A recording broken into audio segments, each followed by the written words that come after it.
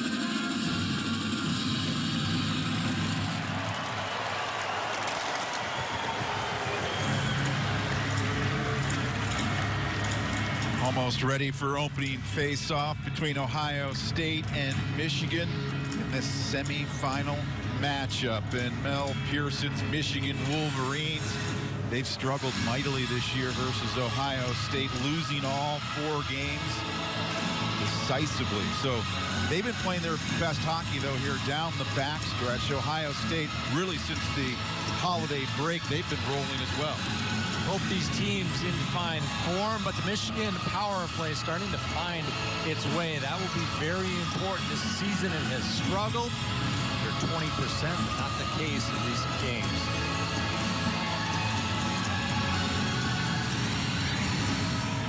It's a little different venue. Nationwide Arena, the home of the Columbus Blue Jackets, the home barn for the Buckeyes this evening, and they've done well here over the years. 18 years at Nationwide Arena, and Sean, you know, he has been the big so calm and cool, no extra movement, his routine, his focus. His head coach, Steve Rohlik, is amazed. Hayden Lavigne, Michigan, they've been allowing a lot good. They've been scoring. So we wonder, will we scoring playoff tilt tonight or one of those 7-5 Michigan-Ohio State matches back in yesteryear? Thanks for the they would checking game, try to win a game like that.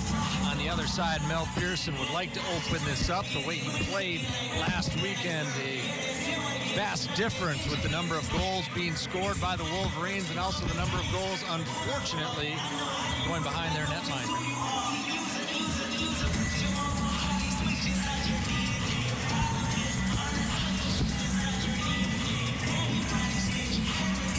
There's one of the big rocks back there, Sasha Larocque. This is a group that's not necessarily flashy, but very mobile, and it all starts with the clean exits and the clean breakouts for Ohio State. Mobile, but one other thing, Dan, very committed. That team and that group of defensemen will play very sound defensive play. They will keep saves needed by Sean Romeo to the exterior. Cooper Marody, they're forced out wide. That's off a stick and out of play, just 10 seconds in. It's good to see the third member of our broadcast team down between the benches, Mr. Fred Pletsch. Well, a bit of a mutual admiration society between these two coaches this week. Steve Rohlik saying what concerns him about Michigan? Well, other than the fact they're playing the best of any team in the nation right now, have 10 NHL picks, 10 players from the NTDP. Not much. Mel Pearson says, yeah, we don't belong on the same ice as the guys, but we only have to beat them once. So we'll see. Michigan hoping the fifth time is a charm here is Matthew Weis. He's had a career year both on and off the ice, number 16 for Ohio State. Dexter Dancs will turn and fire it in. Wyatt Ege on the retrieval. Freddie Girard, what a breakthrough year number 15 has had for Ohio State. This is Luke Martin, though, recovering possession off the stick of Larocque, but still leaks into the zone. Josh Norris in front, but it ends up being a breakout pass for Ohio State as Weedle will send it in. Mason Jobst cruising in there along with Kearney. Quick pace to begin this game. Romeo will watch it behind his goal. Gordi Myer Martin pinches in for Michigan. The hand pass is why we hear our second whistle of this young game. So far, Michigan using their speed, pushing in offensively, putting the Buckeye defense in a position where Steve Rohlik has to be happy that his defense have been able to keep their gap up and yet provide some transition. He feels that his guys right now just expect to win. So confident. 23 wins on the season for Ohio State, their most since 2009. Myer unable to stop the puck. Nicholas Boka. Pastujov. Uh, Boka has to back off because bearing down on him is Mason Jobst. Jobst and Storkin across the line offside.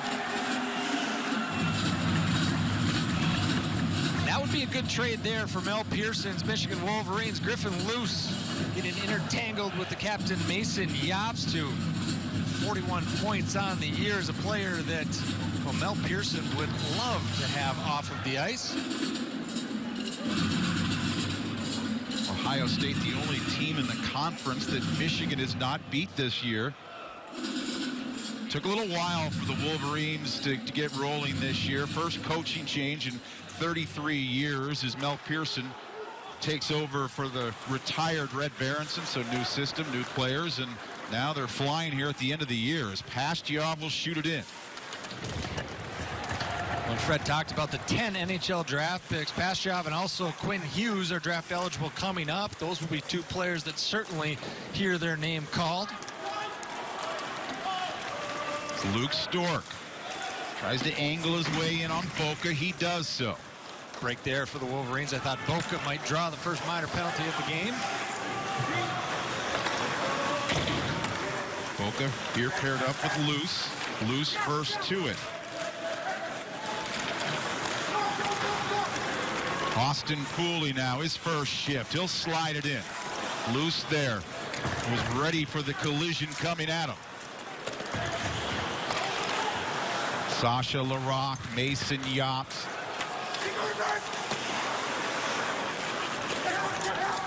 Out of reach there for McCormick and Wyatt Ege back to Collected. Collected here paired up with Larocque.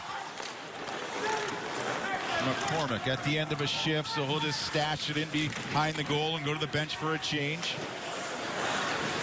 Dakota Raabe, he's scored now in consecutive weekends, and that's something that Michigan has been getting recently. Production from other than just their high-end guys. It's Raabe breaking away.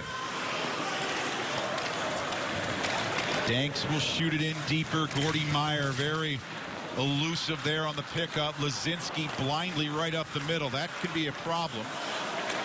Michigan trying to hold it in. Good break for the Buckeyes there. You cannot expose that puck in the center area of the ice, let alone a blind one like you talked about. Turnovers, those are detrimental over the course of the season, but in a one-game series like this, oh so important.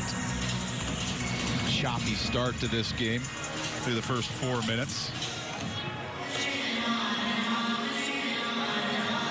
As we check in with Fred Pletsch. Well, Steve Rohlik opting to dress seven defensemen tonight. A few reasons for that. Flu bug going through the team, so a couple of forwards not available. He gets a senior, Yannick Moser back. And Ben, as you know, in a one-game shot, it's not a best of three. If you've got nine forwards that are going, that might be all you need.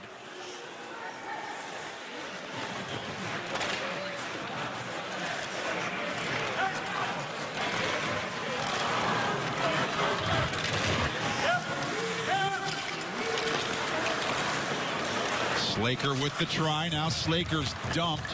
Warren unable to get the shot away as Dakota Joshua holding him off. Stork and Joshua on the forecheck, but Joshua overskates it. A little dust up right in front of the Ohio State bench. And in there for a late little hit coming in was Jake Slaker. Pastujov wades his way through center. Shovels it towards the goal. Romeo unable to contain it. But there to take it away, Mason Jobst. Jobst in Ohio State a little disorganized offside. Nice back check there by the Wolverines. Back through center ice, trying to contain Mason Jobst, not allow him to use full width of the ice. And the chippy play that we saw in front of the Buckeye bench with some physicalities continues. And there's a guy who's seen a game or two. Reminds me of what current head coach Mel Pearson said that Red now just looks all relaxed. He sits there, watches the game with his popcorn like he's spending an evening at the theater. Certainly far different vantage point than he's had for many, many years in Ann Arbor. And Ooh, troublesome puck. Lavigne keeps it out with the pad save after initially almost kicking it into his own goal. Very fortunate that he didn't retract to the goal line and really extinguish that puck into his own net. Mason Jobst spots John Wiedela at center. Kearney will drop it off and Ege will push it in. So not a confident beginning for Hayden Lavigne.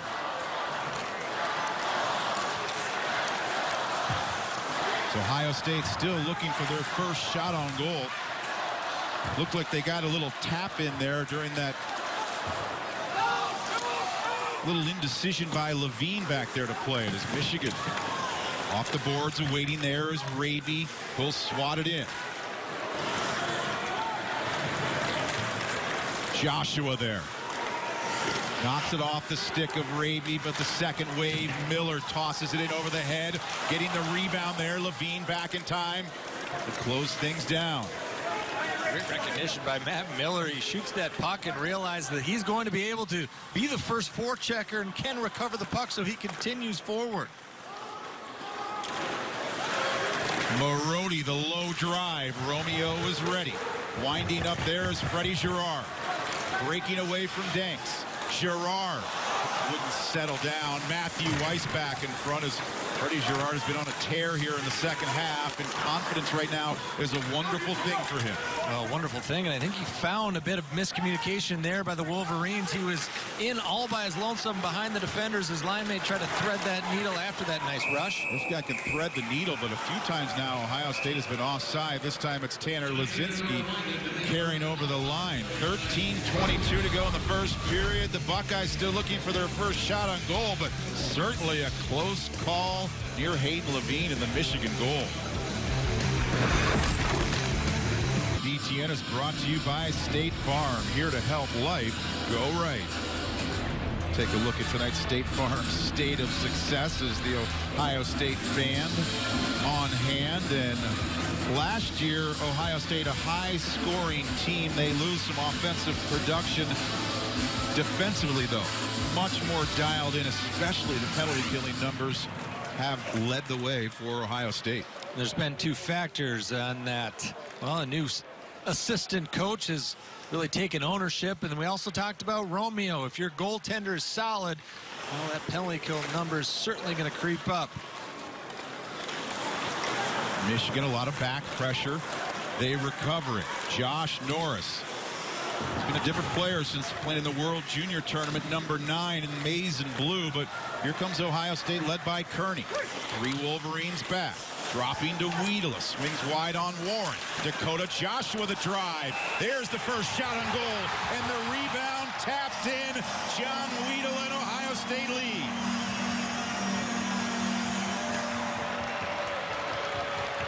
They're calling this one back. Take another look as the entrance and Kearney with just a wonderful drop. And Wiedela will be the player. He's going to lose his man behind the net. Jump out on that far side and prey on a rebound opportunity. A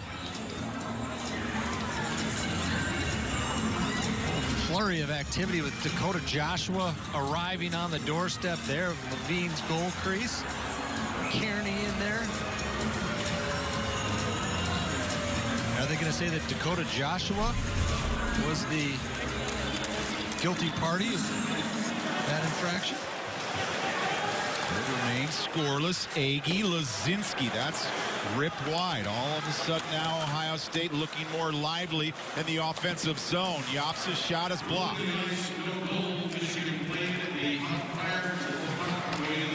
Power play here for Ohio State.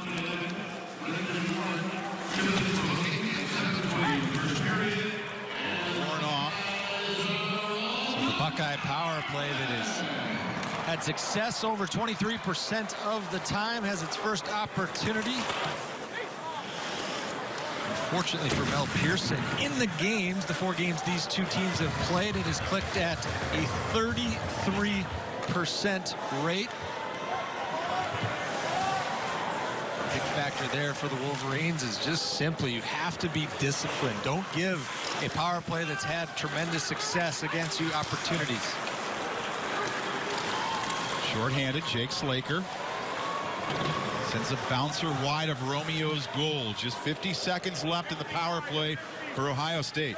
So far, nice job by the Wolverines of trying to clog things up through the neutral zone. When you have an opportunity, they've been able to clear it 200 feet. Gordi Myer, he's the speedster back there, number five. Miller on the point. Joyaux. Blocked by Martin, kept in by Miller. Joyaux's available straight away. Back to Miller, but not in the proper placement for him to release that one-timer. Joyaux thought about it now, fires, tip by Wiedela. Uh, Getting a rebound try in front was Joshua. The, the Buckeyes really controlling the puck up high. And let's take another look and see where we find the infraction. That was it right there. The Buckeyes are to find the puck somewhere through that. All Hayden Lavigne touching the puck would be the Wolverine player to be able to find his team a whistle. 16 seconds of power play time left. Clean face-off win by Weis. Joyaux the drive, saved by Lavigne, and it's cleared.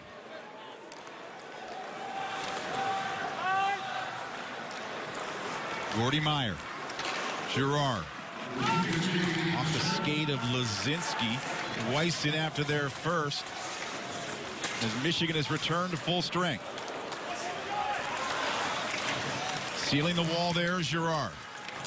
Operating up front with Laczynski, Cooper, Marody. Joshua had him lined up, but Marody saw him coming. One of the Michigan players gave Dakota Joshua's stick a whack. He was pleading his case to the official in front of the Wolverine bench. Guy they say never cheats the company. Number 27 up front for Ohio State, Luke Stork. He's got the speed. Lampasso and Joshua, the other forwards on this line. Christian Lampasso lucky to not get some sort of infraction there as he went quasi knee on knee. Ooh, a turnover in Hughes. Save Sean Romeo. Freshman defenseman with the breakaway. Just all of a sudden landed on his stick, and that's a dangerous guy, Quinn Hughes, to be bearing down on you. Joseph Cecconi. Hughes so calm with the puck. He's been just tremendous this year. So fun to watch and not a big surprise to have a coach's child have that hockey IQ, but Michigan's really been fortunate with he and Norris. Freshmen have been very impressive. Bouncing on Kearney, Joyaux risking things there to hold it in. Lavigne has it wrapped up for a faceoff. 9.16 to go in this first period. Quinn Hughes has to catch his breath. He was racing in on a breakaway, but Sean Romeo with the stop. Is this the overachiever semifinal? Michigan picked to finish seventh. Ohio State our sixth, Ohio State fifth. They're now the number two and three seeds, which is why Steve Rohlik and Mel Pearson are finalists for Coach of the Year honors in the Big Ten, along with Jeff Jackson. Penn State and Michigan State, the only spots that were properly predicted. Joyaux has to back off a little bit and regroup. He's under duress. Calderone there hounding him. Great pressure, but you have to make sure you don't get overly zealous. Draw a power play opportunity. Jump puck there for Wiedela. Picking up the scraps is Jobst, but his centering attempt gobbled up by Brendan Warren on for Jake Slaker. He'll dump it in and try to chase it down, but Myer first to it. Good communication in the breakout there. And look at Gordi Myer. Gets right up the ice.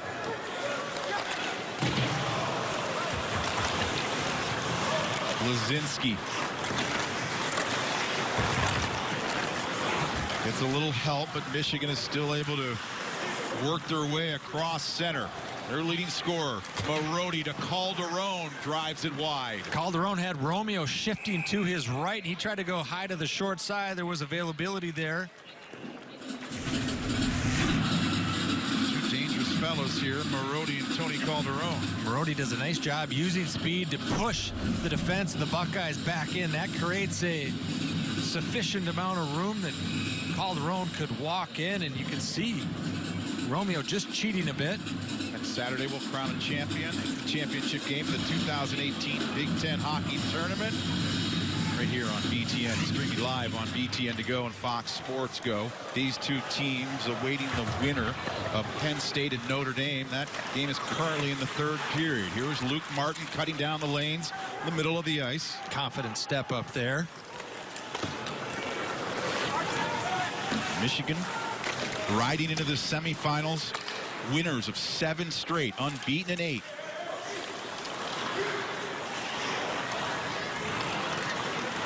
Christian Lampasso, he's hit double digits in goal scoring this year, a career year for number 18.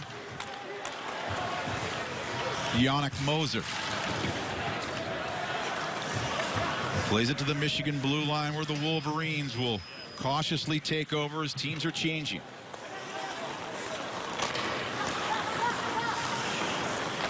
Josh Norris. He's backing up now, skating forward once again. Cecconi swings it wide. Off the stick of Wiedela, Quinn Hughes, the offensive defenseman, the fabulous freshman, the youngest guy in college hockey. Brendan Warren will pick it up. Slaker intended for Norris. He finally catches up to it. Good possession here by Michigan. Now they need to get some shots on target. Norris reaching for it. Mike Pastujov unable to hold in, but keeping possession for Michigan. Quinn Hughes spots the open ice. Hughes walks and fires off the inside of the goal post. Big break there for Romeo, couldn't come out and challenge that shot because things were collapsing in front of him. Had to play deeper in his goal crease than he probably would have preferred. So a breakaway and a goal post so far for Quinn Hughes. Unbelievable how fun it is to watch Quinn Hughes. And we talked about Michigan. There's another couple of teams that have had good freshmen. I thought the Badgers have a nice freshman class. Obviously, Minnesota with eighth overall pick, Casey Mittelstadt. Also, Scott Reedy, awfully impressive pair. Of course, everybody wants to compare Quinn Hughes to Zach Werenski, who's at this game tonight as he plays for the Columbus Blue Jackets. Werenski more of a powerful skater, but they talk about the escapability of Quinn Hughes. Even at the next level, they're not going to be able to catch him. Well, he's slippery as can be, but he also has great offensive instincts and has a uh, disposition to play on the offensive side of the red line a bit more than Zach Werenski did. Fred, you're down on the ice. What are you seeing? Well, I, just I talked to Quinn Hughes this week, and I asked him, you know, 30 NHL scouts at most of his games. Does that bother you? He said, to be honest, not really. It was much worse when I played in Toronto youth hockey. They'd be all in their black jackets really close to the ice. But he says, I'm just driven to be the best I can be. Scouts don't even realize they're there, to be honest, anymore. If there's only 30, what one's not there, I wonder?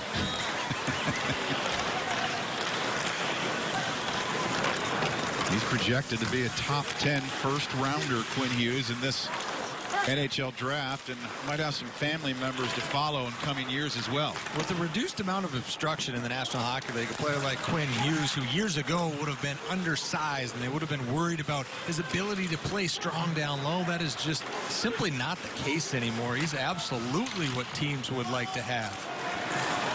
Hagee, Marody pulls him down. Cooper Marody will go off here for two minutes. Buckeyes, their second opportunity. Cooper Marody off, so a double whammy against the Wolverines as one of their best players go off, and they will be without his ability to serve on their penalty kill. As you see, Wyatt Ege hit the ice. Flin Flon, Manitoba, Manitoba native Mel Pearson. The shirt's unbuttoned. We uh, have officially loosened the tie. It's it's on at this point. It's playoff hockey. Michigan and Ohio State. And this guy's been a big difference maker facing any Michigan team. Dakota Joshua, number eight. He parks himself in front of the goal. Power play underway here for Ohio State. Joyaux. Gordi Myer. One-timer is blocked by Raabe.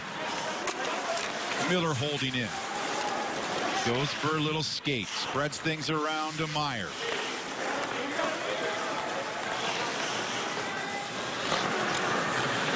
Yannick Moser. Gordi Myer. The one-timer by Joyaux. That's blocked in front by Piazza. Michigan desperately trying to clear. There to close things down, though, Dakota Joshua with a minute 18 left in this Ohio State power play. Joyaux. Off a few skates. Comes down for Joshua. Miller inching in. That doesn't get through as well. Minute to go in the power play. It's been in the zone the whole time. Myer fires, scores! Power deflected by Joshua in front. Either way, Ohio State leads.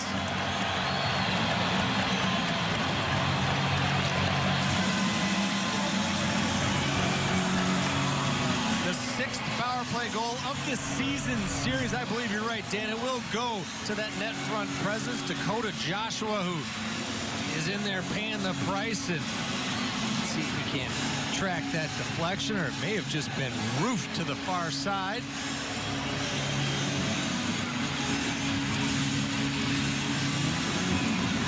Tough to tell how rapidly that puck is moving, but a player like Dakota Joshua, you talked about it, Dan, is in front of the net, and that does two things. First off, obviously it's going to take the eyes away from the goaltender, but the second thing is it backs that goaltender deeper into his goal crease that he would prefer. That's going to increase the amount of net that a player has to shoot at based on angling. Looks like it may be Myer's goal high to the far side there. His first of the season, and now Ohio State, they've been so consistent on the power play over the last 18 games. They've scored a power play goal in 14 of them, including tonight.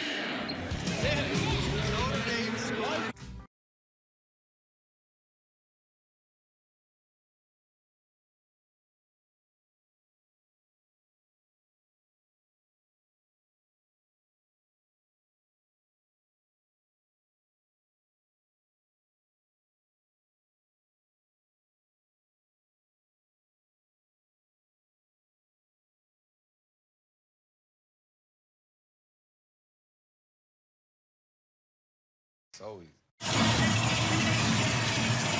Well, the special teams have been extraordinary this year for Ohio State, and this is the time the special teams really come into play, playoff hockey, and it allows them to open up the scoring here. Joshua with the screen. Gordi Myer, he's all smiles with his first of the season. So now the Buckeyes six for 17 in this season series, and we talked about their penalty kill prowess, perfect over the five games that they have played, and that's been a common trend against a lot of teams this year with their penalty kill, clicking at over 90%. They lost Gustin Schilkey, Ohio State. Begin the season, their power play was a little slow to develop, but in fine form now. Here, even strength, Mason Jobst. Behind the play, it's Weedle and Norris tangled up. In the meantime, Ohio State keeping on the pressure. This Joyaux wants it. Shooting that low drive off the pad of Lavigne. Quinn Hughes unable to skate it out, but Josh Norris will with Hughes. Quinn Hughes now trying to shake some defenders. Cecconi looking for the stick of Jake Slaker, who is cutting towards the goal. Quinn Hughes up in the play again. Great read by the freshman. Final score in South Bend, Notre Dame advancing to the championship game, eking out the victory over Penn State, so they await the winner of this matchup between Ohio State and Michigan.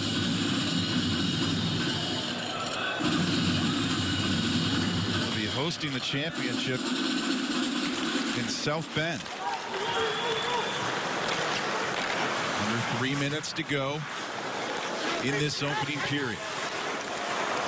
Gordi Myer and the Buckeyes lead 1-0 off of the power play goal. The Boston Bruin draft choice, Becker, along the boards with Mike Pastujov. There's the clean breakouts that we see from Ohio State, led by Miller. And the forecheck has been the key for Ohio State this year. Helps to have a lot of speedsters as Dork and Lampasso nosing around, but Nicholas Boka deals with the pressure. Wyatt Ege. Confident plays there by Wyatt Ege to be able to recognize he had support around him, be able to step up on that red line. You often hear coaches talk about defending the blue line, the sophomore up on the red line. Ultra confident. Freddie Gerard, the Ohio native. The dump and now the chase, but he's contained by Martin. Squirts in front, but it's Cooper Marody there to pick it up for Michigan. Calderone neatly knocks it down and will tap it in. Final 90 seconds of the period. Marody leaks back to center. The pressure from Ohio State a little too much. Nice stick there by the Buckeyes in the defensive zone to just be able to thwart that Cooper Marody little dump pass in the middle for the defense who's going to have an opportunity to create a shot. This is Matthew Weis turning, looking for availability. Laczynski the shot. Lavigne down to make the save, and more importantly, doesn't allow a rebound. Take another look here. Great speed in the Wonderful save by Lavigne because he was backed into his goal crease. I think a bit more with the player to his right. Had to be deeper if there was a rebound or a possible pass to be able to take away that angle. And Tanner Laczynski with the first grade A opportunity on his stick. Cappy and Pizzo warming up back in our Chicago studios for our Auto Owners Insurance Intermission Report upcoming. 55 seconds to go in the first period here in Columbus, Ohio from Nationwide Arena. It's an offside there as Yop struggled to bring it over the line. Confident blue line protection there by the Wolverines. Really, both of these teams have played well between the blue lines, clogging things up. The end-to-end -end action has really not opened up. Billy Muckalt, assistant coach there with Mel Pearson. They call Billy Muckalt the nickname Full Throttle. Joya. Dumping it in. Quinn Hughes on the retrieval. 35 seconds to go. Michigan can't clear it. Takes a deflection right into the chest there of Hayden Lavigne. Still keep it with him. Retraction by Quinn Hughes because he was joining that play offensively when the puck was turned over. Wisely recognized and then back to support Cecconi. Takes Kearney's stick to the net there. Had there been a rebound opportunity, Lavigne able to hold on to that play, but it's not all about offense, and there's two sides of it. When it goes poorly, you're cheating. When it goes well, you're anticipating. It's all semantics. Subtle differences, but the good ones anticipate. The Miners are riddled with cheaters, I'll tell you that. Icing is the call.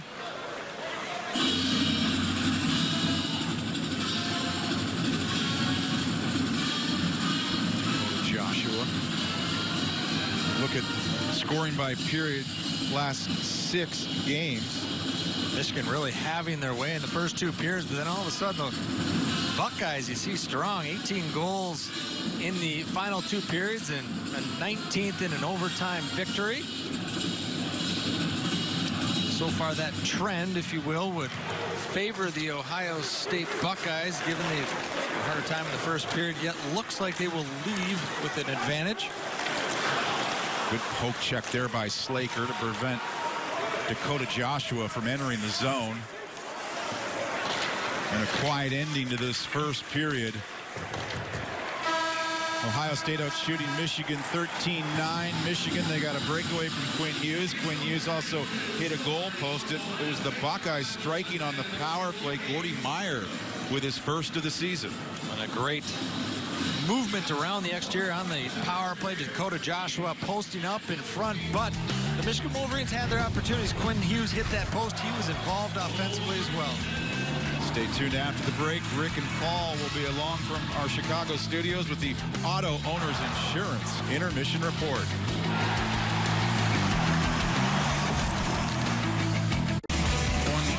Complete. Gordi Myer and the Ohio State Buckeyes lead. They outshot Michigan, but Michigan had their chances. They hit a goal post and they had a missed breakaway. The key there, though, one power play goal from Steve Rohlik's team. Paired up with Ben Clymer, I'm Dan Kelly. As we welcome you back to the broadcast booth. Special time, special teams so important this time of the year in Ohio State, both on the power play and the penalty kill. That's their specialty.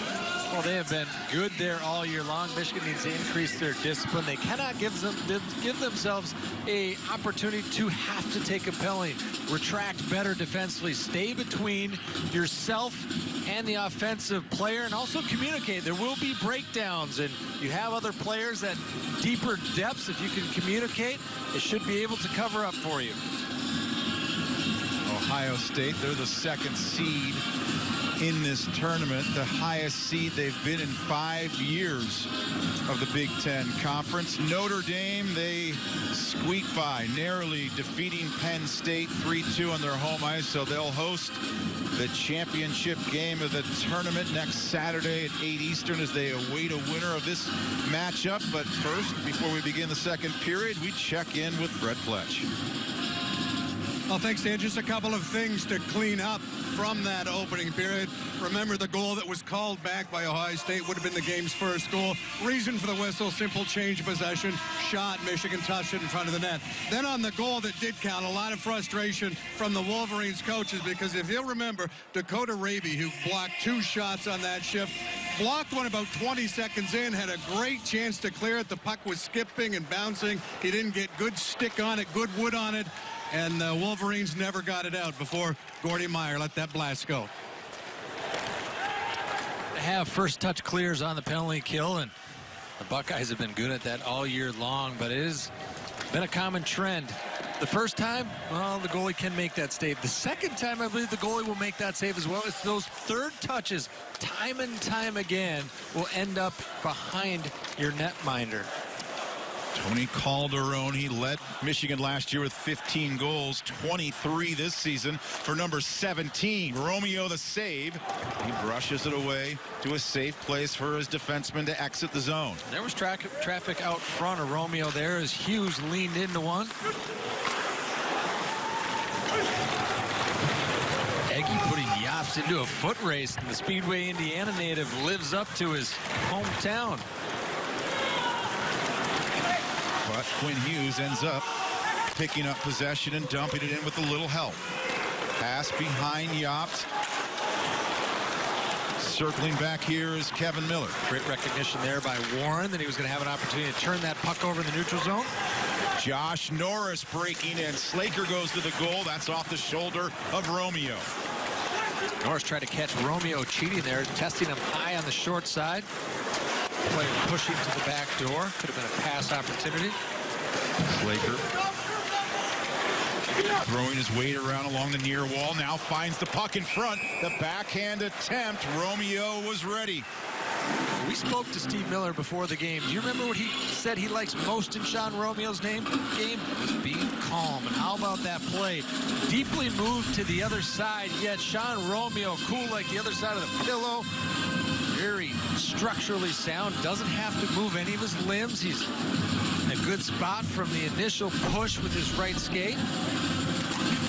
They rave about his focus and his preparation. He keeps his phone in airplane mode on game day.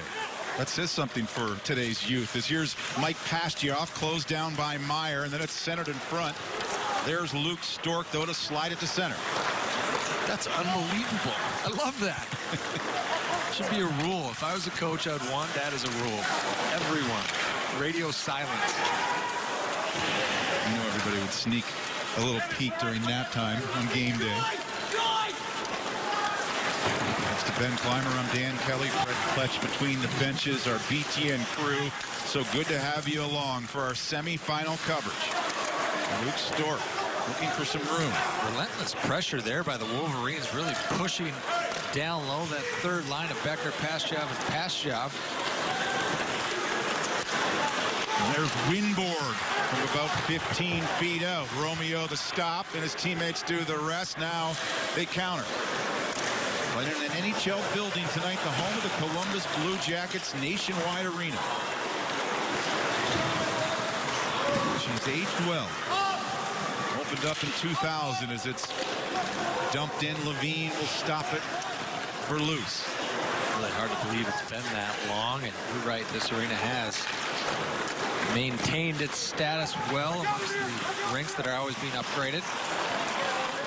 Gravy trying to swing it in the middle. Instead, it leaks back out to center, hammered in by Luce. Mr. Steady back there, Sasha Larocque. This is not a big group of defensemen.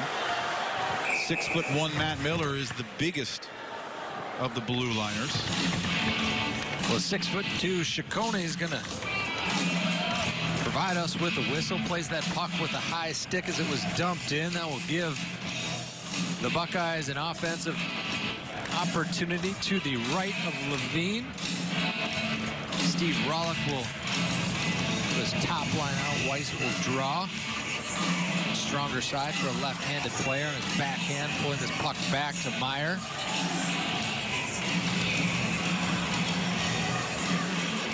Meyer didn't really look ready. Meyer was communicating with the equipment staff trying to get a new stick there. I bet he wishes he didn't because that was such a clean win by Weis. Good stick or average stick or maybe even kind of a bad stick. He had a lot of space in front of him to be able to lean into that one. But no stick. Not very good. Low drive. Lavigne a save. Gerard turns and fires it wide. Gordi Myer, the goal scorer tonight for Ohio State. Number five on that blue line will hold it in.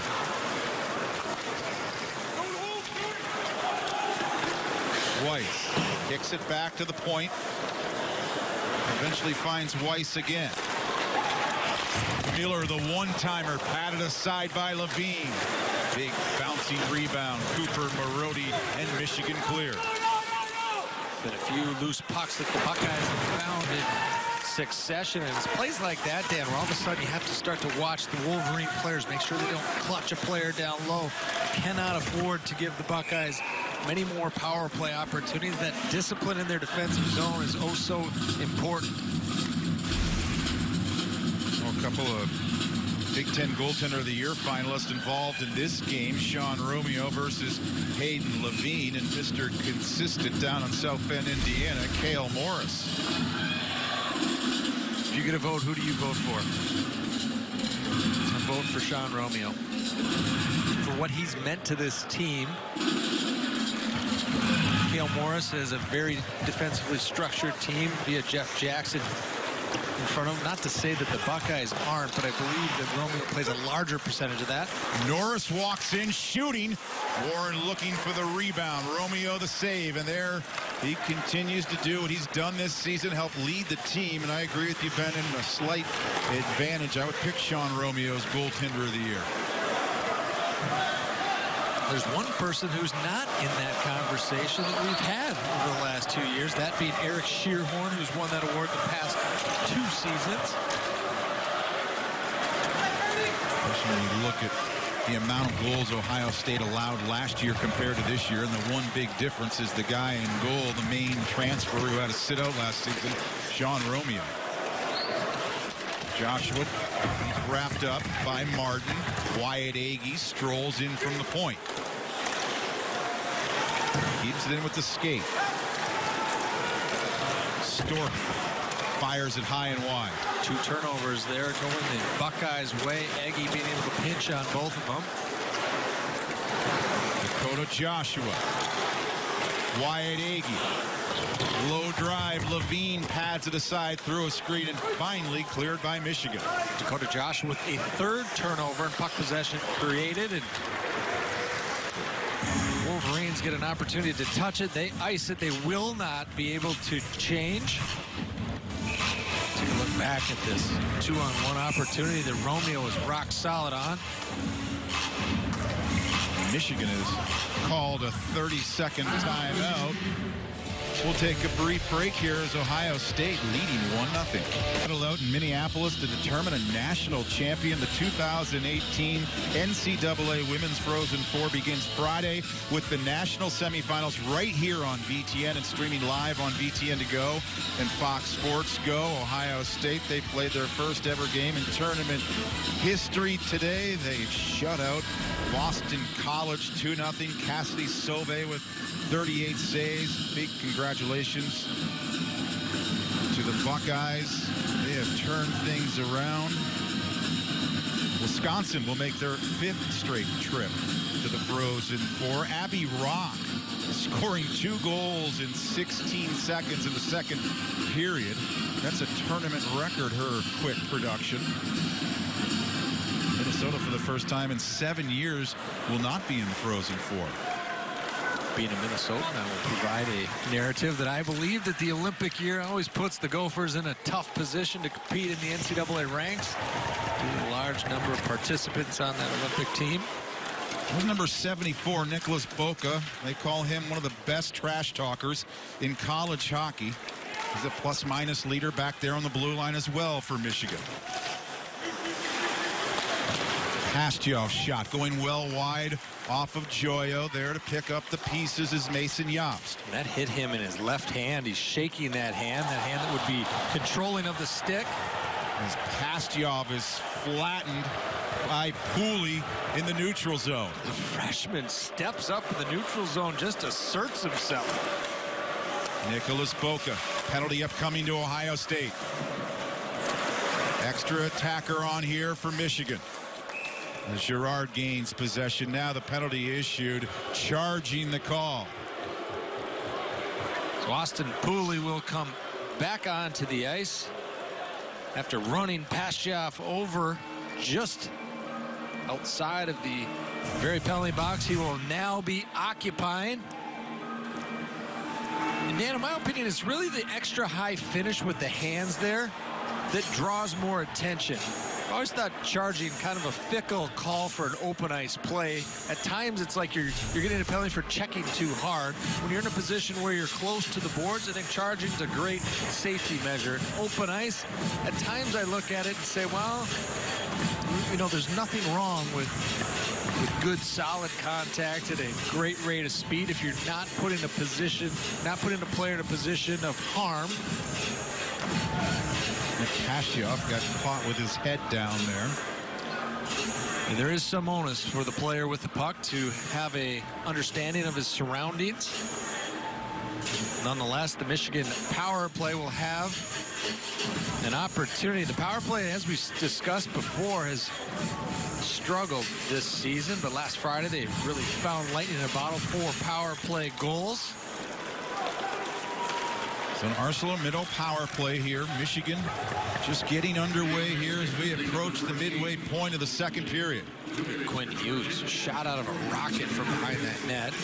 Blows a tire and still is able to tip that to a teammate.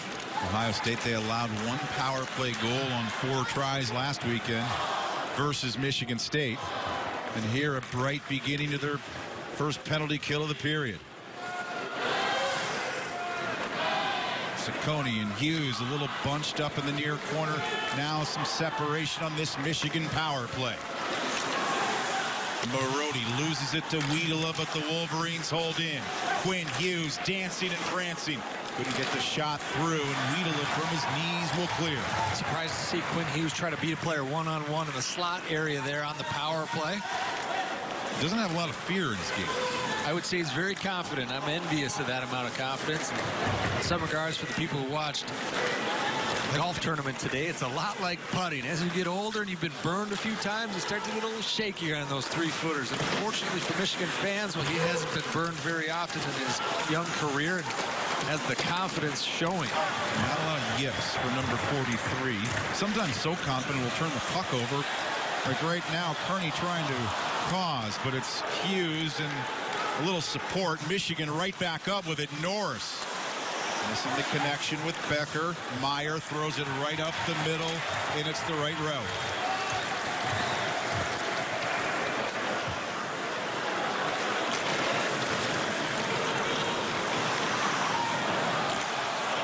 Girard causing some problems in this power play breakout for Michigan. Nice patience there by Girard, just waiting in that center ice area, trying to use his stick to steer traffic. And once you found a player in a vulnerable position, we can tell he's trying to get rid of it. He does not want to hold it. All of a sudden, then you can really lean. Let's take a look here at Wyatt Ege, who steps up. Going to make a play into the slot area on his backhand. Amazing confidence there after originally creating confrontation with Quinn Hughes to have the presence of mind, be able to bump that puck in the middle is one thing, but also the communication. Seeing that play, there's no way you do that without a player in the slot communicating. Nice sign for Steve Rohlik's group.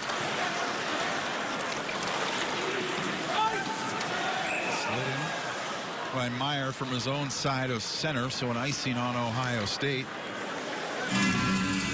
Sometimes you see high scoring affairs between these two teams, but it's taken a playoff feel to this one. Just one goal scored so far.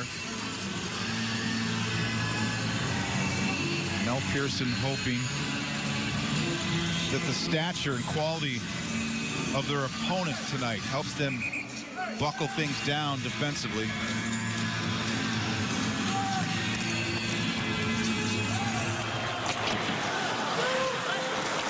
Got his own style, that's for sure. Taking over from the legend. Freddie Gerard tosses it in high over the goal. Joyaux has to back off as Raabe now on the forecheck here cruising in on Ege. One underrated unit back there in terms of mobility, Ohio State. Laczynski. Luce gets enough of him, but Laczynski hangs on right in front.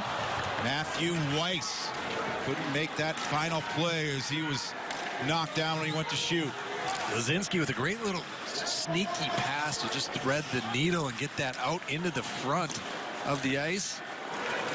The play was dead, but then he makes that quick little pass. Calderone, Marody up the middle. Marody trying to break away, but angling him there is Wyatt Ege. Late in the shift for Ege.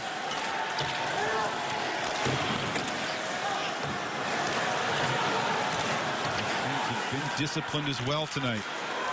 Halfway through this second period, Luke Stork, a shot probably going to knuckle wide, but Hayden Lavigne keeping things safe, grabbing everything near his goal.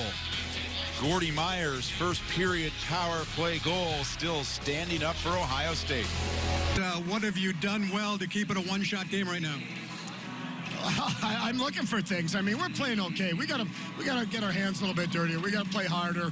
Um, obviously, we're doing a, a, better job this period of playing in the zone a little bit more. But we've got to play a lot better uh, when we have the puck. We're over overpassing the puck, not skating, getting the pucks to the net like we should. We've got to be better. You wanted to clean things up defensively this week. You've done that, haven't you? For the most part. I mean, we've had a couple turnovers in our zone. We have to understand and manage the game. Uh, what's going on. A couple situations we didn't like, but you're going to have those. You're going to have situations in a game where to make some mistakes. Thanks for doing this. Okay, thanks, Fred. Sense that Mel Pearson wants his team to play desperate playoff hockey. So their tournament run can end here in about 30 minutes. The other thing you really heard there was accountability being created by Mel Pearson. Not to say it wasn't with Red Berenson, but that continuum also important. And sometimes players are given an inch, they'll take a mile. And gambling, well, not going to happen. There's Quinn Hughes with another try. He's had the three best scoring chances. Marody trying to sneak it in back in front. Hughes remains a threat there on the hash marks. Marody easily patted aside by Sean Romeo, but a little consistent pressure here from Michigan. Hughes' shot is blocked. The poke check by Romeo. Michigan able to lift it over him. Cooper Marody, the man, and Michigan has tied it.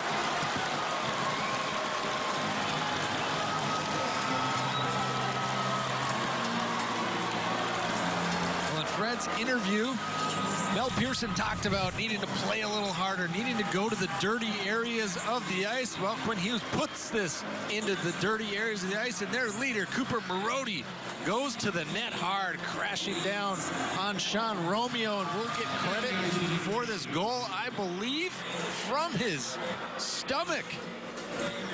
Is able to leverage that puck up and over Sean Romeo. Take a look here as 20 stick is the only thing in the picture. And they're taking a look to see if there was a player to touch it after Cooper Marody touched that puck with his glove.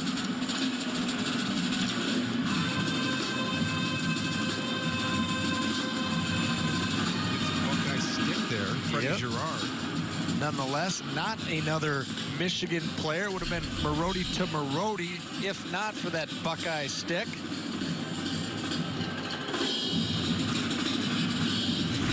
Initially looked like Sean Romeo had diffused the situation with the poke check upcoming here, but then he kind of gets himself out of position in the process. It was a strong gamble. I think that was a play that, you know, the puck was in question and he's going to be aggressive. He was sound in his positioning on that strong side, but I think he would have been in a worse position if he just retracted back to the goal line and tried to wait for the play to come off of Cooper Marody. It really was a tremendous play by Cooper Marody having body control. And let's head down to ice level. Fred, what do you have? While the referees are over talking to Steve Rohlik, Ohio State's contention is that Cooper Marody closed his hand on the puck before bringing it down. And even though it was next touched by an Ohio State player's stick, should have been a whistle right there, closing hand on the puck.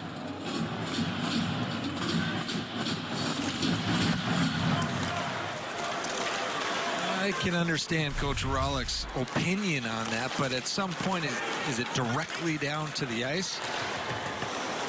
Would be the question I would ask.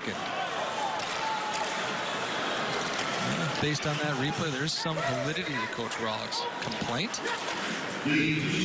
Jobst, he blows a tire, a potential three on two for Michigan. Kearney, though, back to nullify the threat.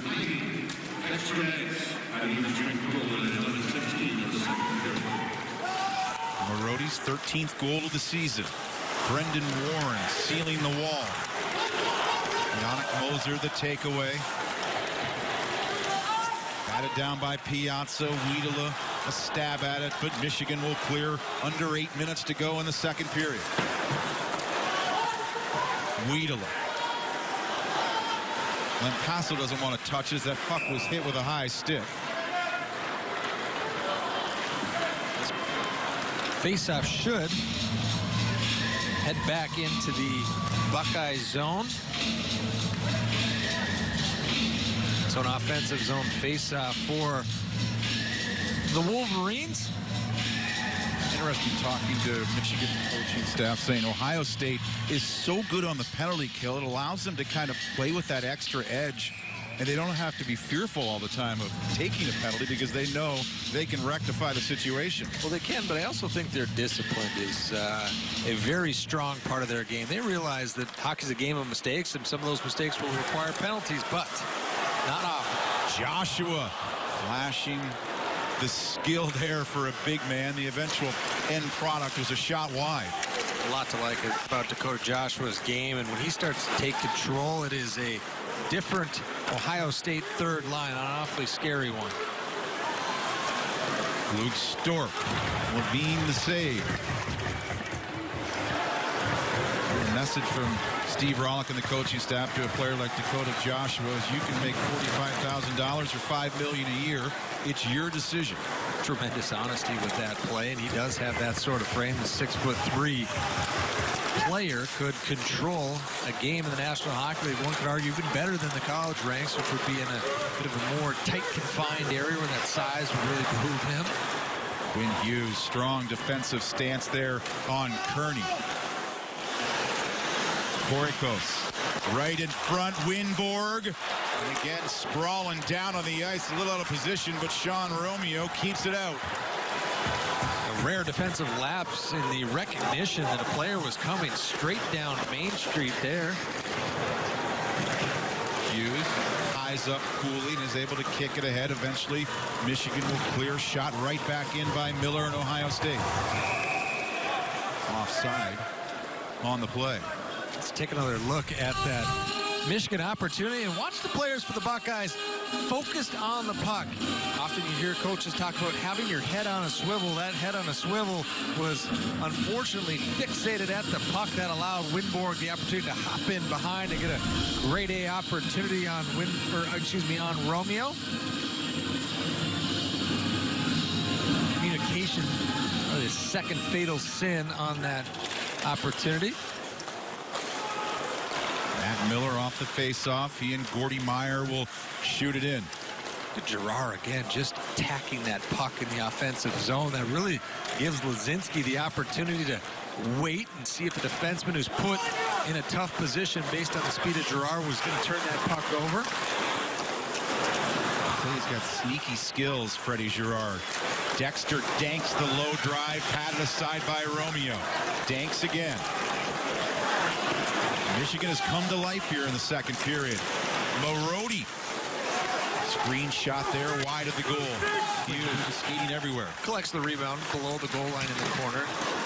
Love that. There, Laczynski gets a shoulder on him. Weis trying to break away.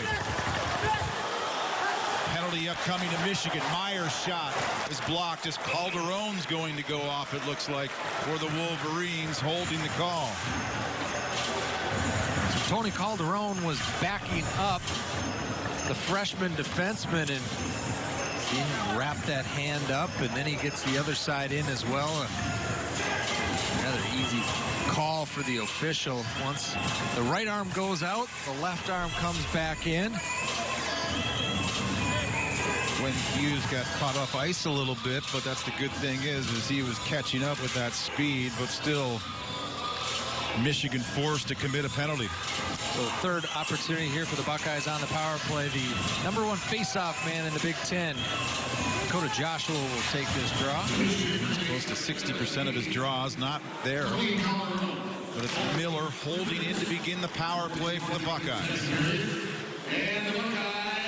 John Wiedela pass eluding Dakota Joshua. And it's cleared by Norris.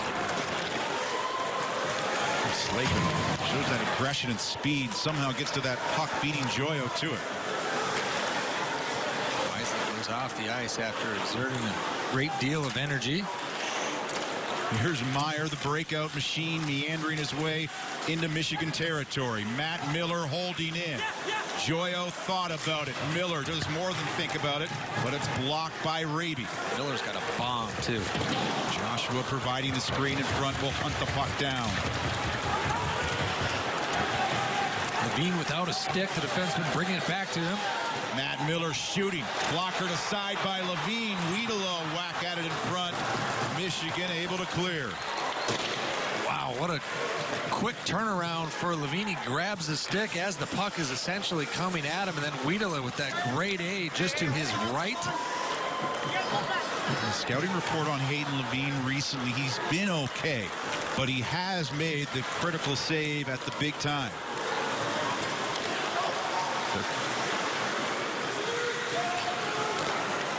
Laczynski. Girard pushes back in front for Weis, missing the final connection to Mason Jobst. 23 seconds to go in the power play. Ege shot off a body sailing wide, and the Wolverines behind the stick at Griffin Luce will clear again. Ege trying to find a lane there to get that down to Weis, who was in front of the goal. And unbelievable what a step he's taken in Wyatt Ege, a player that you know we recognized as a freshman, but his assertion and his confidence with the puck so different this sophomore year. Jobst steals right in front. Laczynski. Oh, Lavigne there on the goal line to make the save and a beautiful quick passing play from Ohio State. They're not done. Laczynski. Jobst rips it wide. Power play has expired, but not the pressure. Ege holding in. Mason Jobst creeps, fires off a leg and wide. Hired Wolverine defenders here. Norris with intentions there, shoots it over the glass. Tanner Laczynski in the Ohio State Buckeyes, a great opportunity to take the lead in a quick passing play, but the score remains 1-1 here late in the second, thanks to Lavigne.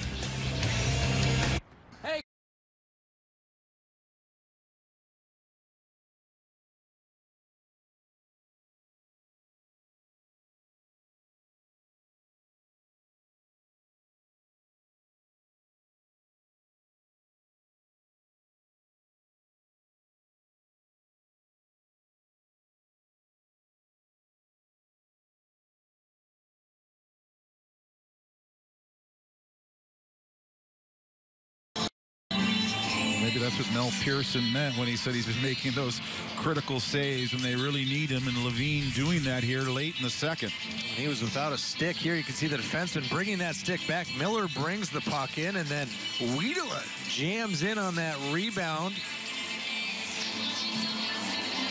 There's the netminder without a stick, and the recognition of the defenseman right there. And Boka does a nice job of identifying that he had time and space to go get that. Wasn't going to leave a player unattended to in the slot area.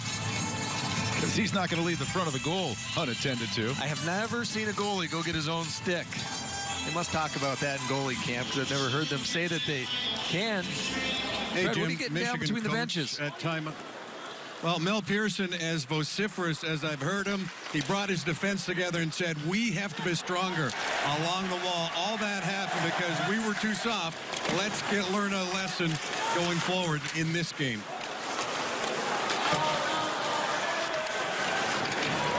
So a little intensity earlier in the period from Mel Pearson. A little more animated than we've seen the legend Red Berenson in years past.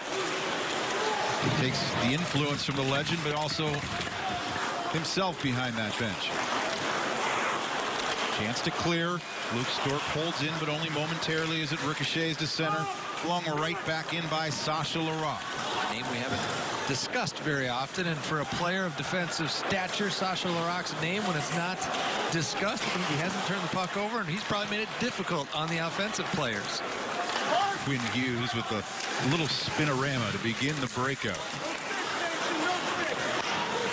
At that point, just showing off. so, so good with the puck. So fun to watch. Cat-like quickness back there from number 43. This is Joshua. Good little one-hand pass over. Weedle of the drive. Lavigne grabs it with his left hand and will keep it for a face-off. Stay tuned for our Auto Owners Insurance Intermission Report.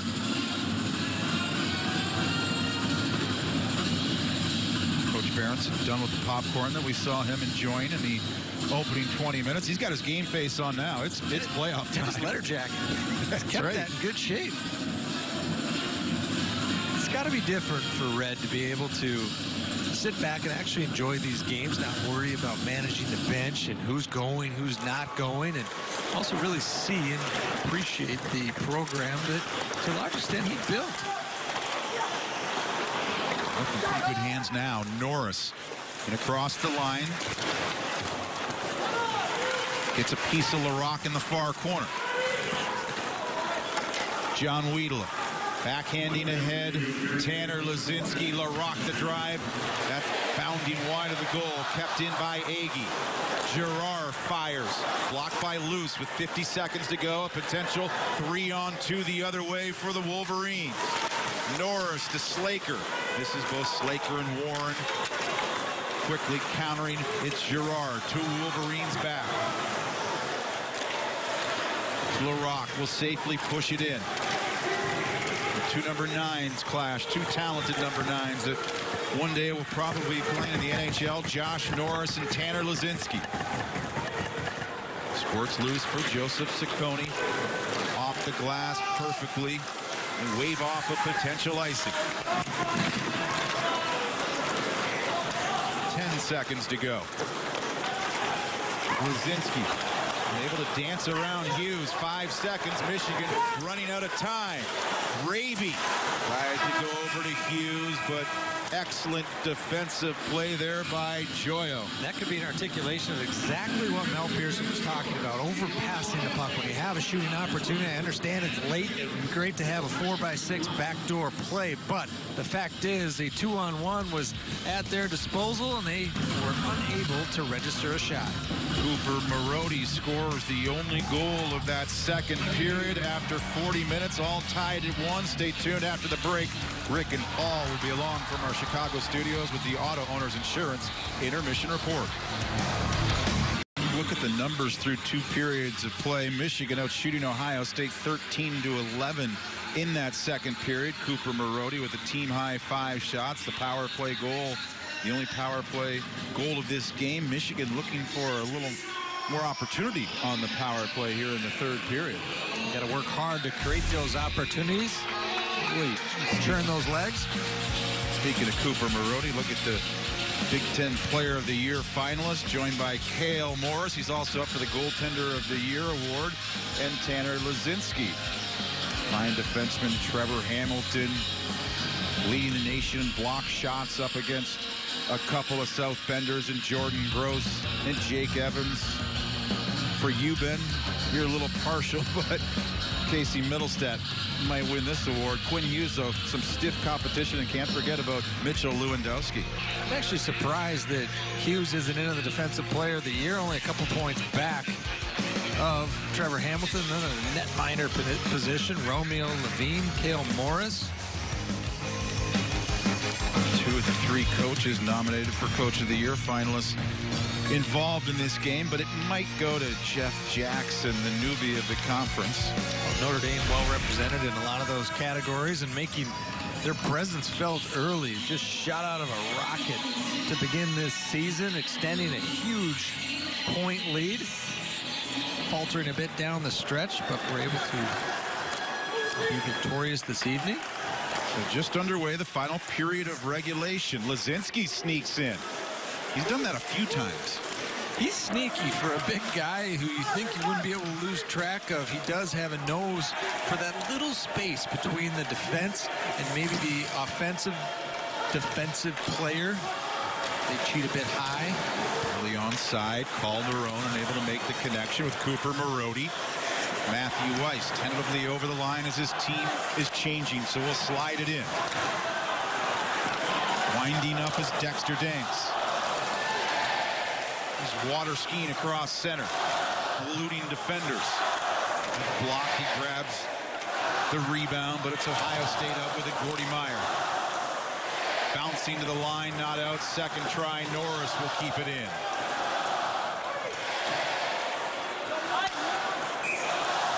Icing here on Ohio State. Start strong and finish strong. These two teams are trying to do in Ohio State. Boy, the last seven games, they've been finishing real strong. Well, a good sign for Steve Rohlik's group to be able to withstand that first period push that the Wolverines have been so good on in the last three weekends and now hoping to continue their own trend. Mel Pearson in Michigan, though, you just win one period on the road and you're playing for a championship next Saturday night at, at Notre Dame. Correct. The season series would uh, be a single win against this Ohio State team, yet the most important win would go their direction. Slaker and Warren busting out. Could be offside there on Norris. The whistle stays silent. Redirected in by Wiedela. Maybe he didn't get a stick on it as it ends up being an icing. Yeah, a little surprised to see that whistle occur. I thought Wiedela did get a stick on that I believe it was Matt Miller who moved that puck up. So the players that were trying to change will come back on the ice. Buckeyes have not lost in regulation when scoring first. They opened up the scoring in the first period from Gordi Myer. Cooper Marody notched his 13th of the year in the second period. Level terms here in the semifinal matchup. Becker and Pastujov. He'll deal it back to the point. Luce's shot is blocked by Kearney. Caroms all the way back into Michigan territory. Buckeyes just surrounding this puck. Wheeler was in early trying to push Boka. Don't shoot the puck as much, but it seems like Ohio State and Penn State have some similarities to their game. They certainly both have a high rate of speed for which they push offensively. Guys failing to clear it. Michigan trying to make them pay. Dancs bumped off the puck by Joshua, recovered by Marody. Bouncing puck, Calderone finally settles. Slaps it behind the goal for an awaiting Cooper Marody. Hughes, the one-timer, guns it wide. Terrific peripheral vision there by Cooper Marody, being able to find Hughes over his shoulder. Lightning quick release from Quinn Hughes.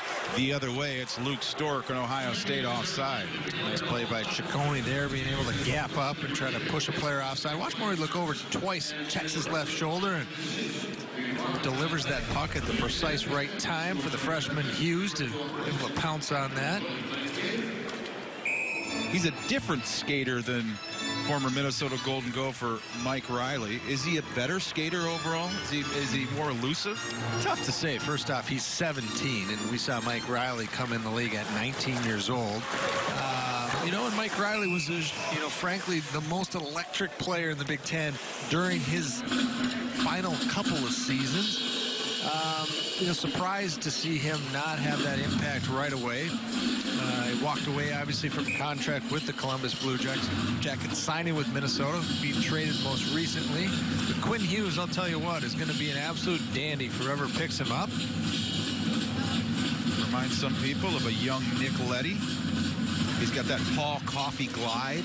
Yeah, you know, I would say another player as well in the pro ranks. I played with Dan Boyle. I, I like a lot of what Quinn Hughes does that uh, really mirrors with Dan Boyle. A smaller statured player, yet competes defensively, adds so much offensively, controls the puck on the power play, still shoots it quite well. And it took a while for Dan Boyle to get his opportunity. Of course, the NHL much different now. It suits his game a lot better, and it looks like a penalty here early in the third period, it's going to go on Michigan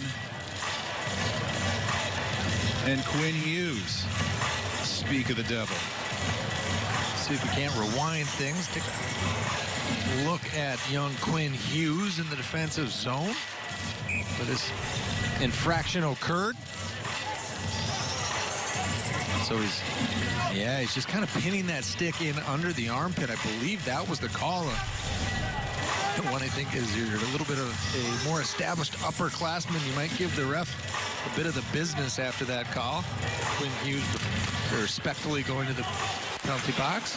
Michigan's coaching staff pleased with their penalty killing, the aggression they've shown so far. They have allowed one power play goal. That was way back in the first. Laczynski the drive. It doesn't get through. Blocked at the defense. Piazza not only blocks it, clears it all the way down on net. Mason Jobst spots Matthew Weis near side. Wyatt Ege. Some room up top. Tanner Laczynski, the forward on the point. Piazza, the little stick lift. Squirts in front. Dangerous puck. Good keep in by Ege. Mason Jobst waits, fires, and that's deflected out of play. I believe again by Sam Piazza getting the piece of his body on that as Mason Jobst was trying to find a lane, slowly stick handling that puck, keeping his head up, trying to see what might open up. Look at all this time in front of him. Yeah, that stick way out. Actually, Piazza moved too far to the right there, yet had recovered, snaking that stick out. Talked a lot about Quinn Hughes, but I'll tell you what, in two years, when you see Josh Norris, he will be an absolute animal. This kid skates so well. He competes. He's got a little bit of edge to his game as well. He'll be a fun player to watch. By Joshua, he can shoot the puck as well, number nine in the maize and blue. 70 seconds to go on the power play. Batted in by Joshua. Second power play goal might go to John Wiedela.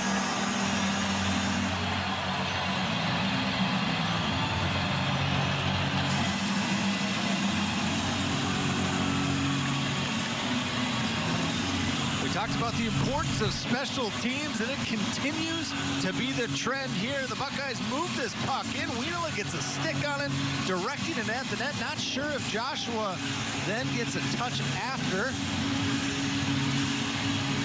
Just waved his stick at it. it might be Wiedela's goal. You know, sometimes you watch a player and you just see how hard they celebrate.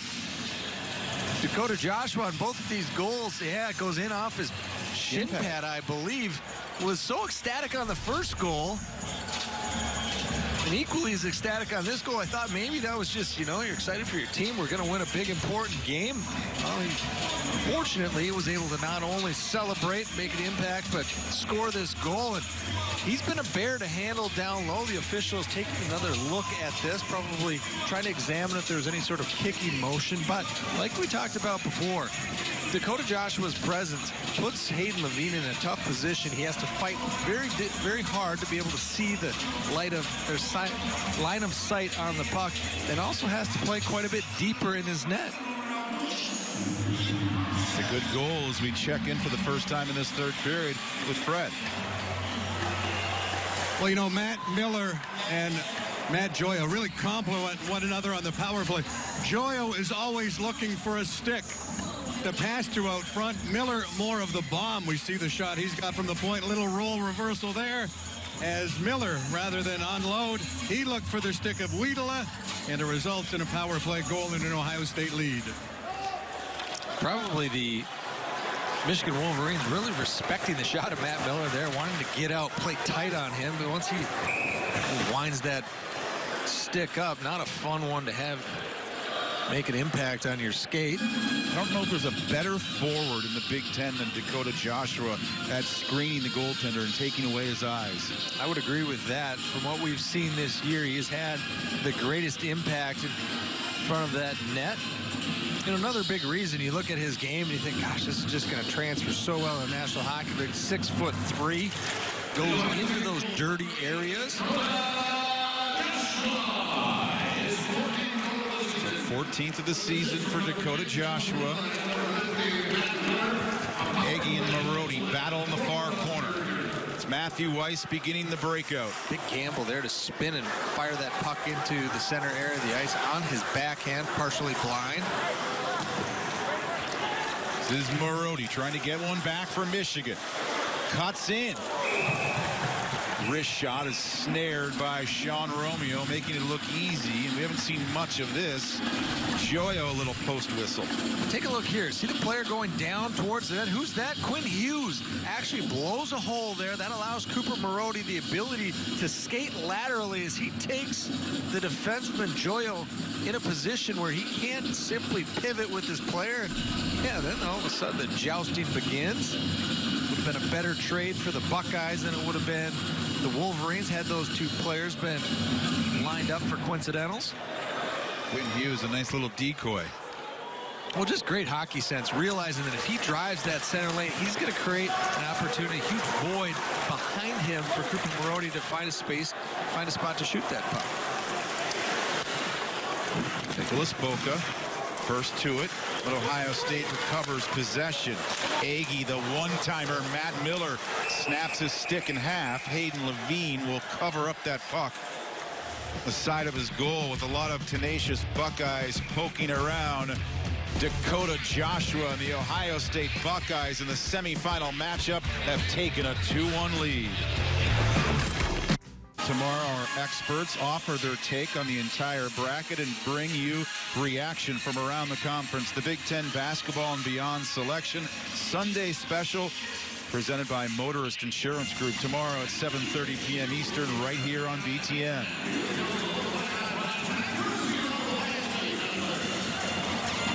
It's got to be a little bit of a thrill, Ben. We talked about it earlier in the year with the collegiate Big Ten game at Madison Square Garden. This is eventually where these guys want to get to, the National Hockey League nationwide arena, the home of the Columbus Blue Jackets. Yeah, nice uh, turn of events, if you will, with the scheduling of things to allow this game to take place at Nationwide Arena. And yeah, a bit of foreshadowing for some of these players. You talked about the pair of nines that will for sure have a opportunity to play against each other in the National Hockey League, that being Laczynski and Josh Norris, amongst others.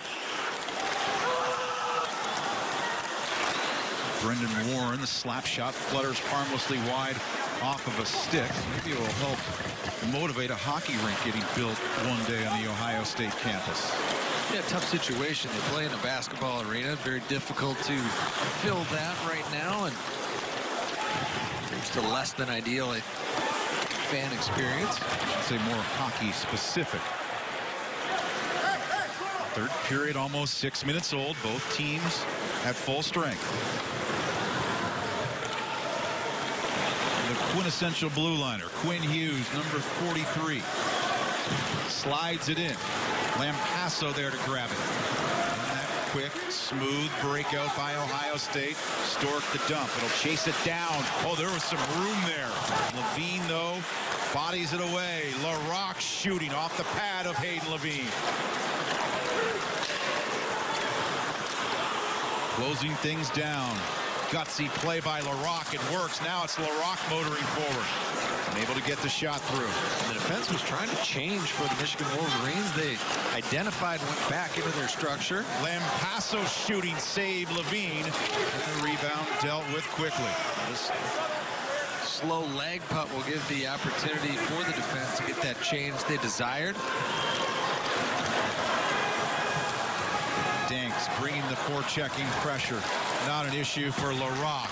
Laczynski gets it back from Freddie Girard. Laczynski and Weis standing in front. Now join him in the corner.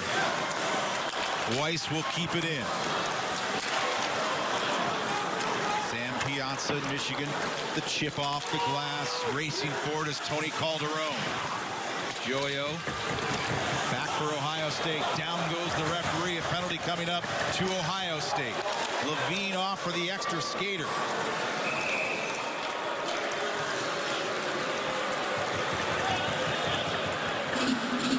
So the Wolverines will have an opportunity to score their first power play goal of the season against the Ohio State Buckeyes as the officials have a brief con conversation. Dancs the inadvertent trip there of the referee. He, he went down, but he kept his arm up. Strong commitment.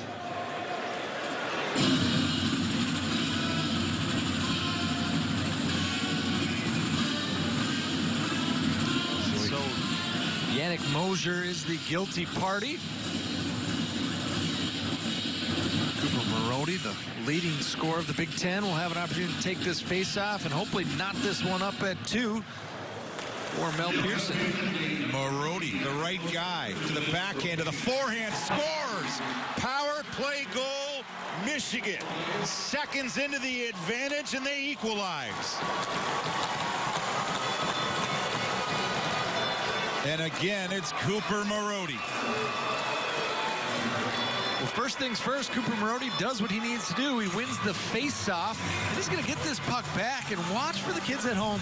I thought for sure he was going to shoot this puck. He goes to his backhand, then realizes he doesn't have a ton of angle. Myers comes out with his stick and he turns all the way around, goes back to the forehand and kisses this off the post. He knows what he's doing. Super unorthodox. I think if you looked at that on video and this had not been a goal, Mel Pearson would have said, Cooper, you got to shoot this puck. Down a goal. You're on the power play. You're in the slot. You can't go to your backhand. Proves us wrong. Michigan ties it. Still searching for their first lead of the evening.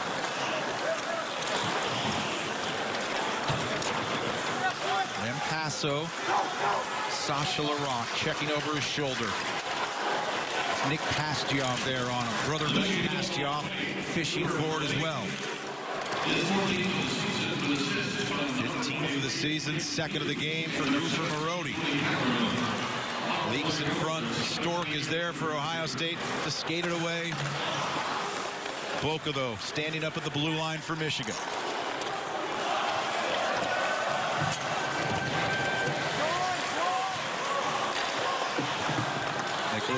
So calm. Brendan Warren and able to move it in deep. Brendan Warren down there fight for this puck. Now it's Josh Norris. Warren in front. Pass coming to him. Looking for a rebound there from Norris's attempt. Another drive by Norris is blocked. Ohio State right up the middle. Helped in by Wiedela, so no danger of an icing. Much needed change after that great offensive opportunity by the Wolverines for the Buckeyes defense to get off the ice. Gordi Myer. Such an effortless skater. Gravy there. Separates him from the puck, and it's the Wolverines once again. Freddie Gerard. Behind Laczynski, and it's Michigan. Burrowed in behind his own goal, Quinn Hughes.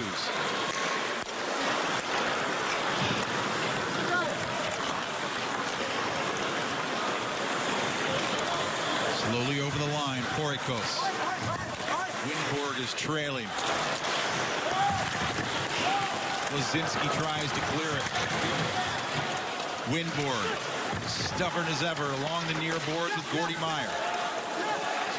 Time and room for Laczynski, and he also has the capability of creating some room with those soft hands. It takes a risk there, and you have to wonder, is the risk worth the reward right there as Laczynski dances to the inside, is fortunate to be able to break that puck out. 9.55 to go in the third period. We got a tied game. This week, special teams often uh, tell the story of game this time of season. Is that the case so far? Well, yeah, I mean, it's a good hockey game. Obviously, both teams scored some big goals there in a power play, and I mean, it's that time of year. Some short benches the rest of the way. I'm sure. Uh, what are your plans? Well, we'll just play it how it goes. You know, we just got to keep playing our players. Thanks for doing this. Yeah, you got it. Very tight to the vest with his opinions to Fred and how he's going to manage his bench. We'll just see how it goes. But if you said, well, Fred, I'm not going to tell you our plan. This is a crucial time right now.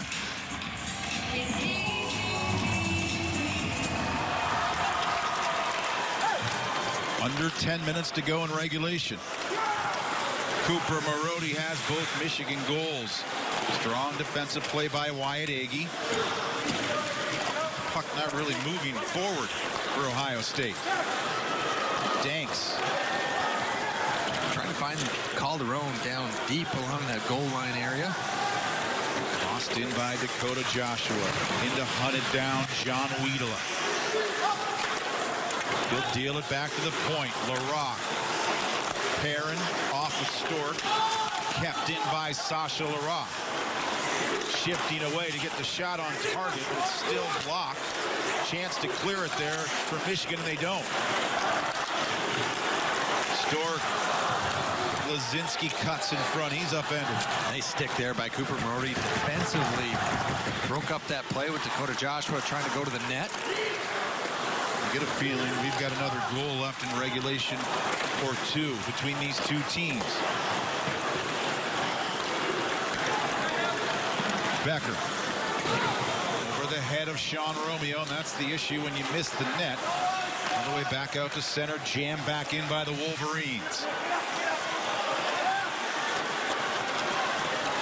Becker brings it off the wall. Now trying the wraparound, a second try. Passed you off a drive, blocked at the defense.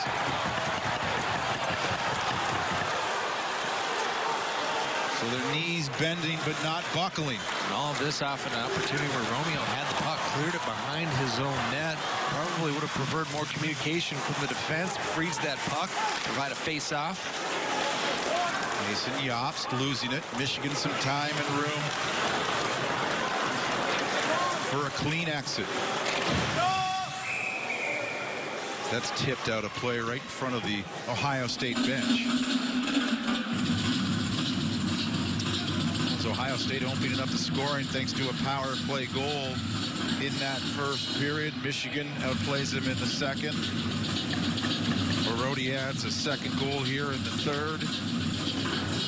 Joshua gets that power play goal, the second power play goal of the night for Ohio State. Tied at two. We check in with Fred Pletsch. You know, Austin Pooley took a penalty at 6:40 the second period, and the Buckeyes have rolled three lines since. Michigan continues to send out all four. There's Freddie Gerard, and that's the thing that's dangerous about Ohio State.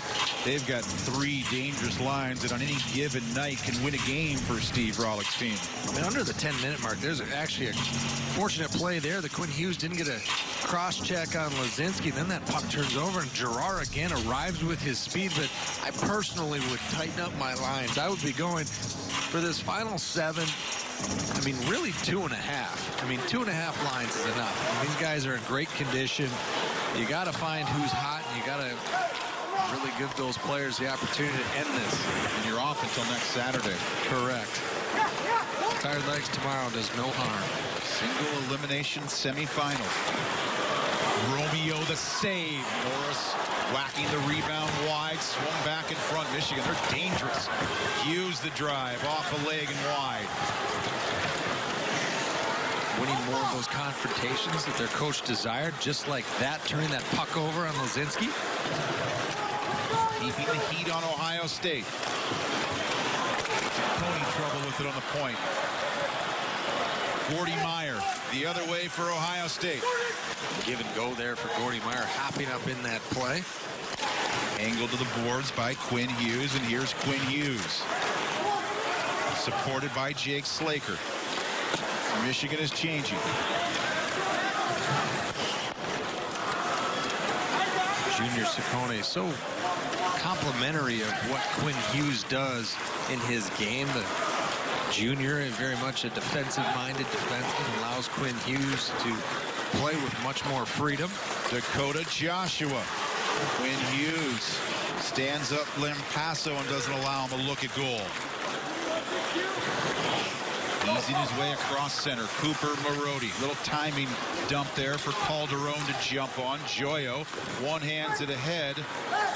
Rolls out to center. Cooper Marody and Calderone team up along the near boards. Recovered by Ohio State as Kearney will reverse. They showed a patience there by Sasha Larocque, who outweights the forechecker and allows himself a little extra time. He's shown some poise and confidence under duress, Larocque. And again here, it's Norris. Centers it on his backhand. Yeah, player draped all over him. Unfortunately, that player turned it over. Free for Kearney. We're checking pressure, a lot to handle right now. Michigan holds it in. Norris, the one-timer, changing directions.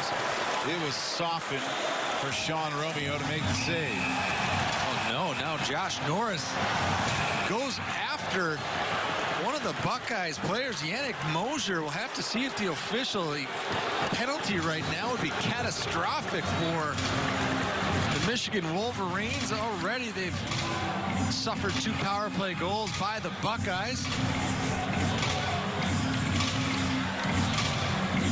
Here's the off-speed pitch that comes in on Sean Romeo. I believe Norris was coming to the defense of his teammate Pericos. Moser there with a little punch back. Yeah, what happened there was uh, Norris dropped his glove, so the one-timers with one hand. When he went to pick it up after the whistle, Moser stepped on it, and that's when uh, tempers flared. Boys will be boys. Coach once said to me, don't let your battle get in the way of my war. That would have been a good articulation of what uh, Mel Pearson was likely thinking. Don't be selfish, be selfless, especially with the game on the line and a bid in the championship game here with under five minutes to go in regulation. Oh, a dangerous puck for Hayden Lavigne. Second time we've seen him struggle with the hot boards here at Nationwide Arena. Pastujov skids out on the forecheck. Matt Miller back to pick it up. He'll pitchfork at the center. Big gamble there by Wiedela going backhand right across the red line. He's standing on the red line. Would be a terrible idea. Four minutes left in the hockey game. Just simply dump that down the strong wall.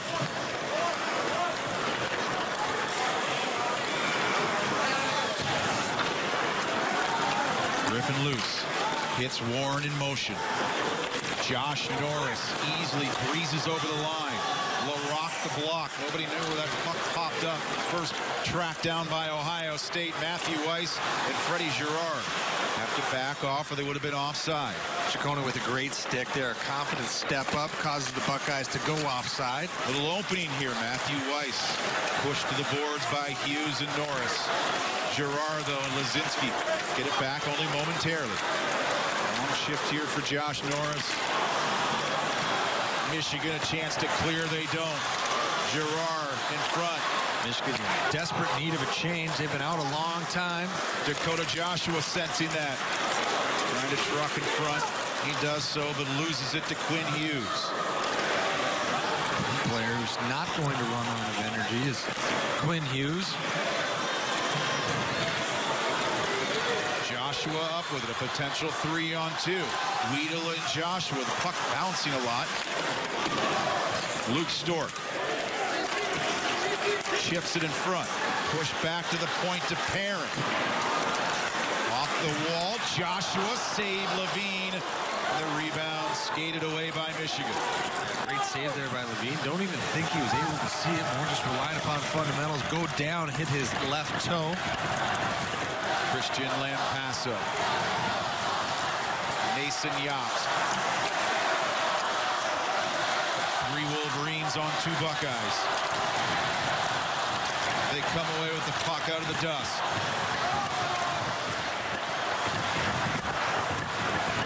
Quick feed to Gordi Myer. Eluding the forecheck of Gravy. This is Kearney. Goes to the wall with Griffin Luce. Oh, Jobst there, a little trip there on Nicholas Boka might have got away with one. The officials really letting them play. Anything that's been questionable has not been whistled here in the last 10 minutes or so. Icing here on Michigan. With a minute 57 to go in regulation. The difficult thing about that is players start to read that. They'll start to take a greater and greater amount of liberty with the officials. But at some point, if things continue, we've seen a number of them, that line will be crossed, and it's going to be a huge deal for whomever does it in their team. Reminder, Michigan has burned her one and only timeout. Ohio State has theirs left.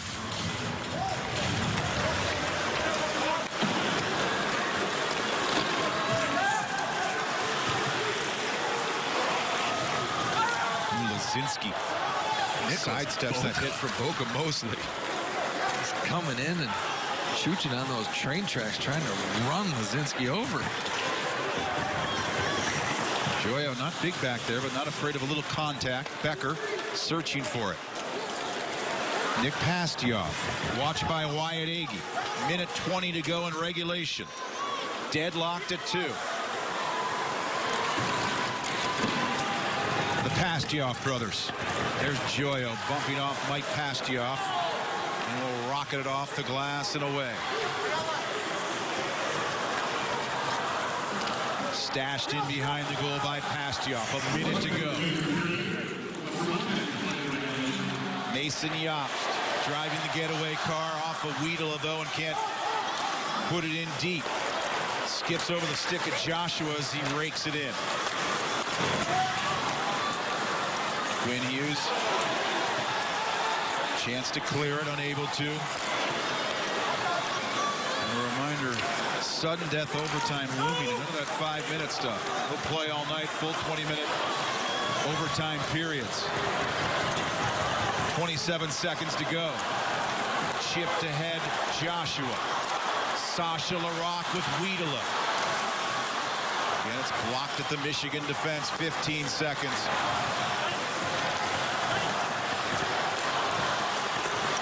Ege save Lavigne. Six seconds to go. Tremendous stick dive by Perrin steps in. A late shot there from Piazza, but this semifinal will be settled in overtime.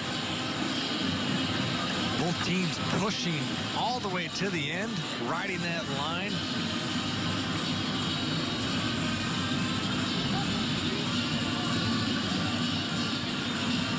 The overtime records, regular season and tournament play. An advantage Ohio State. They've got a little experience here in 2018 in tournament play. They're looking for their fifth straight win and to sweep the series this year and move on to the championship with a win tonight. The power play is making a difference right now. It's Ohio State outscoring Michigan 2-1 with the power play advantage, but nothing settled yet. On the brink of our first overtime. Maybe we'll be here for a while. Next to Ben Clymer, I'm Dan Kelly. Always happy to be next to the former Golden Gopher. And Ben, the way this game's being called, they're letting the boys play. I don't know if we're going to see many power plays here in overtime. Well, from that last 10 minutes, I would think not. There were calls that could have went both directions, but players need to maintain that sense of discipline. Just because that line has moved a bit, you can't all of a sudden try to cross that one and see if they'll move it a little bit more. At some point, there will be a consequential call. It was Dakota Joshua in Ohio State opening up that scoring in the third period, but Cooper Marody in Michigan just wouldn't go away. Yeah, that net front presence got it going, and Dakota Joshua factoring on both power play goals for the Buckeyes. And all of a sudden, Cooper Marody passes up a forehand shot, goes backhand, and then twirls all the way back around and kisses that one in off the post. An unorthodox goal, but nonetheless effective. No, Cooper Marody leading the Big Ten with 46 points. Has both of Michigan goals this evening as we check in with Fred Pletsch prior to the start of sudden death overtime. Well, here's what Mel Pearson told his team this week. 1994, Michigan dominated Lake State. Five straight wins, including a victory in the CCHA championship game.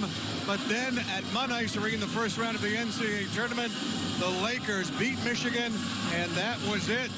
They went on to become national champions. So Mel's message all week has been, we just have to beat them once. As for Steve Rohlik, well, his team, believe it or not, already has an overtime victory over the Wolverines in this building. It came back on March 6, 2016. A regular season game, yeah.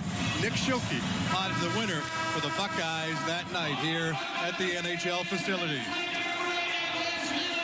Everybody trying to get to Saturday, St. Patrick's Day weekend. What a place to celebrate it. South Bend, Indiana. The winner of this game will play in the championship game versus the Fighting Irish, who beat Penn State earlier tonight. And off we go in overtime. Dexter Dancs and the Wolverines. Slow start, but they can getting better as this game has moved on as Romeo will cover quickly 15 seconds in. Romeo understanding the bounces off this defensive zone wall behind him and has been a bit more responsible in his goal crease. But another thing worth talking about, we talked about the discipline. The other thing is the shot selection in overtime. The understanding of what is a good shot and what is a bad shot changes in overtime. Goaltender's a bit more fatigued. Also, the you just don't know factor starts to come into play. And passing up a shot is going to be a less common occurrence. That puck should be heading at both of these goaltenders in any sort of questionable opportunity that a player has on the offensive side of the puck late in the game, you mentioned both teams, this being a single elimination game and having being off all week, if they win, shortening their bench. Will that trend continue at overtime? Well, that's a gamble. We'll see if one of the coaches is willing to take. I, I would push my chips in and shorten it up and see if you just can't end this in the first 10 minutes. But if all of a sudden that doesn't work and say you keep pushing for the next 10, you know, you not only have tired out some of your consequential players, but also you've put players in a position where all of a sudden now they haven't played very much in an extended period of time. Their legs are cold. Their timing starts to diminish. Matthew Weis cleanly wins that from Cooper Marody. Strong, heavy stick by Laczynski. The shot! Matthew Weis, good night, Michigan. 32 seconds into overtime. Next stop, Notre Dame.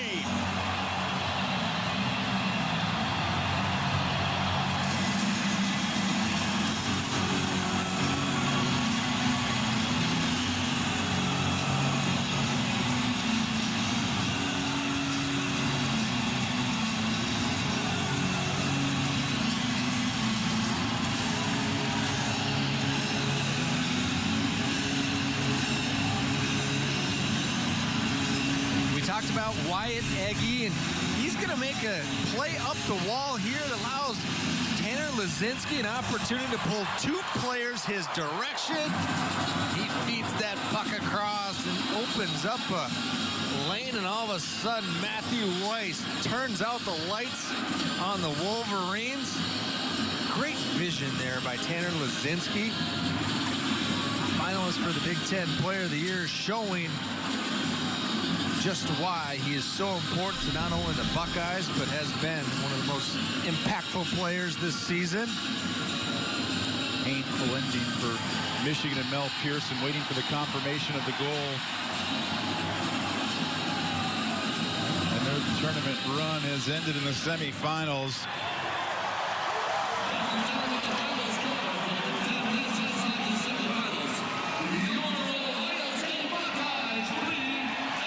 This is a confident Ohio State team.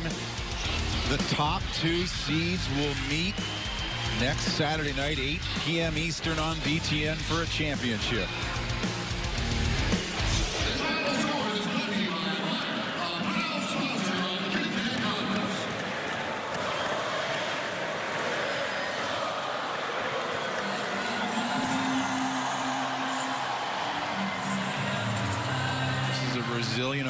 State team. Also a team that's built to win in the postseason. When you think about their defensively sound, they're opportunistic on the power play, which was huge tonight. And what else?